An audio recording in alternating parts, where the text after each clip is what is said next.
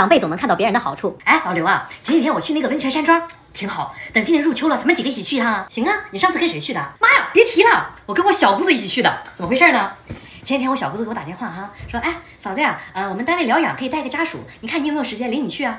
我还想啊，太阳从西边出来了啊，结果小姑子那个人有这好事还能想起我来呢啊！后来我才知道，她对象啊没时间，然后她打算带我婆婆去哈，人单位不让，说那个家属年龄太大了，怕出事儿哈，这不都去不了了吗？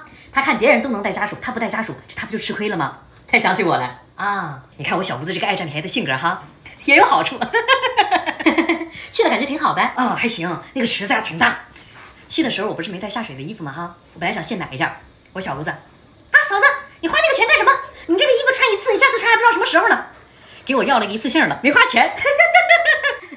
你去几天？两天。别提了，我头一天去泡温泉不是感觉挺好吗？想第二天再去泡啊。谁知道去了一个旅游团那，也不知道是什么，一群老太太在池子里边泡。哎呀，那群老太太，那个池子不是公共的吗？啊，那群老太太呀，就在池里边搓灰呀。哎呀，那个搓的呀，人家那个旅店里头都有淋浴，你说你洗干净了再去泡，对不对？不，就在池里边搓，哎，胳膊搓腿，一顿搓呀。我一看，妈呀，拉倒吧，我不下水了，我在那泡着啊。旁边一群老太太在那搓灰，拉倒吧，我嫌恶心，我第二天我就没去。晚上啊，吃自助，吃自助哈。我不好意思，我就拿那么一小盘菜，我小姑子拿满满当当一盘啊。看我还说，哎，嫂子，你怎么就拿那么点菜，多拿点吃。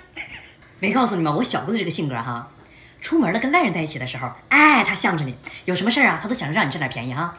在他们自己家呀，我这个嫂子就是外人了，知不知道？哎，她就怕我占她便宜。我小姑子就这么个人啊。这不我吃上了吗？哈，吃一半，我小姑子噌一下站起来了，往那个取菜地方跑了。我还想怎么回事哈？上来盘鲍鱼，我小姑子警惕性真高，上鲍鱼她第一个看着，去夹了八九个，一共就那么一小盘，她夹那么多回来，来嫂子吃。我一想，反正都他们单位的人，他都不嫌不好意思，我有什么不好意思的？吃，吃挺撑。